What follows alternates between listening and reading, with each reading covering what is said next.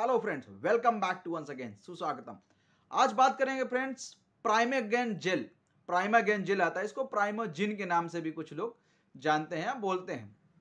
इसमें एक फार्मूला इसका होता है डायनाप्रोस्टॉन जेल क्या होता है? डायनाप्रोस्टॉन जेल इसका क्या यूज़ होता है? किस कंडीशन में इसको यूज़ किया जाता है? वन बाई वन हम इसको डिस्कस करेंगे। तो फ्रेंड जो डायनाप्रोस्टॉन जेल होता है, ये एक प्रकार का प्रोस्टाग्लैंडिन होता है। अब prostaglandin E two specially prostaglandin E two prostaglandin का कई फ़ंक्शन होता है। ये स्पेशली नॉर्मल डिलीवरी करवाने के लिए यूज़ किया जाता है।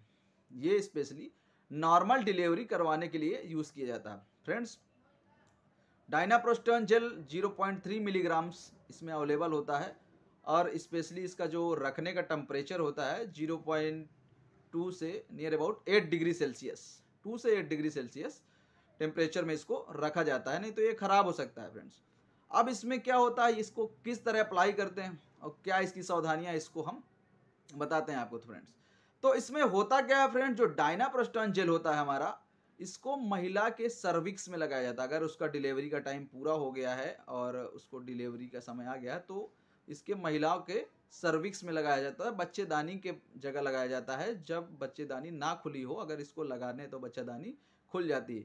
हाँ फ्रेंड्स एक चीज़ ध्यान देना, ये सेल्फ मेडिकेशन नहीं है।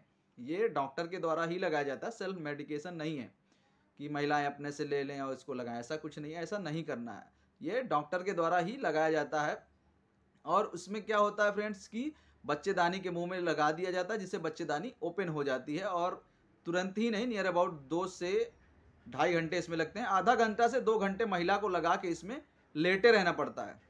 तब ये चीज़ें बच्चेदानी नॉर्मली ओपन हो जाती है और फलस्वरूप डिलीवरी हो जाती है। हाँ फ्रेंड्स ये ध्यान देना है कि अब भाई हर कंडीशन में नहीं, अब कोई भी मान लीजिए सीजेरियन केस आया है तो उसको नॉर्मल कराना है तो सीजेरियन करने के कई कंडीशन बनते हैं। सीजेरियन करने के कई कॉम्प्लीमेंट कंडीशन बनते हैं।